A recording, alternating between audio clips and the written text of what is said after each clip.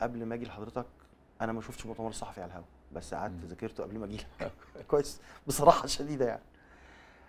آه، حضرتك اديتني احساس انه انت عايز من خلال البرنامج ده تحول النادي لمؤسسة اكبر من ان هو نادي.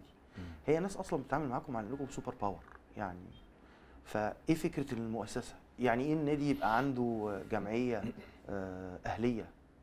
آه، خاصة بنشاطات مجتمعية مختلفة؟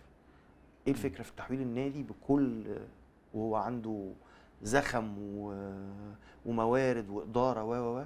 عايز تحوله مؤسسة فيها لجنة اقتصادية يشرف عليها الدكتور فاروق العقدة. يعني. الموضوع كده كبر زيادة. آه بشوف بصراحة آه يعني. شوف يا شيف آه اسمح لي بس الأول أقول نقول حتة مهمة. الأهلي هو مؤسسة قبل ما يكون في برنامج بس الأهلي طول عمره مؤسسة مؤسسة. كبيرة. آه ليها حدود. إحنا حابين نكبر الحدود دي شوية.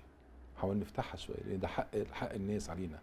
النادي الأهلي الحمد لله رب العالمين آه، هو أفضل آه، نادي مثلا في آه، في مصر أو حسب ال- يعني أرقام يعني وقارة أفريقيا. والبلاد العربية ده الحمد لله رب العالمين. طيب أين دوره بقى المجتمعي؟ زي ما حضرتك بتقول. أين دوره العالمي؟ زي ما حضرتك بتقول إن إحنا عشان نعمل نوصل لبرنامج بهذا الشكل لكن الدور النادي الأهلي هو فعلا مؤسسة. والمؤسسة لو عايز أرجع تاني للجزء إحنا قلناه في الأولاني المؤسسة ليها مواصفات في اتخاذ القرار. قرار ما يبقاش قرار فردي ده قرار مؤسسة لازم يدرس كويس ولازم الناس كلها تتناقش فيه عشان يطلع القرار.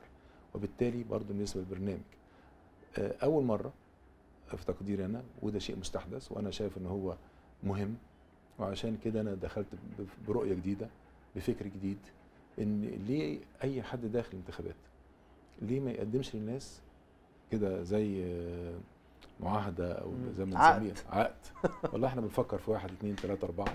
في حاجات من ضمن ضمن جوه البرنامج إن إحنا هنقدر ننفذ ده فورا في حاجات لأ محتاجين إن إحنا ناخد فيها تراخيص في حاجات إن إحنا محتاجين فيها نن- ننشئ مؤسسة آه، يعني اجتماعية مثلا أيوة.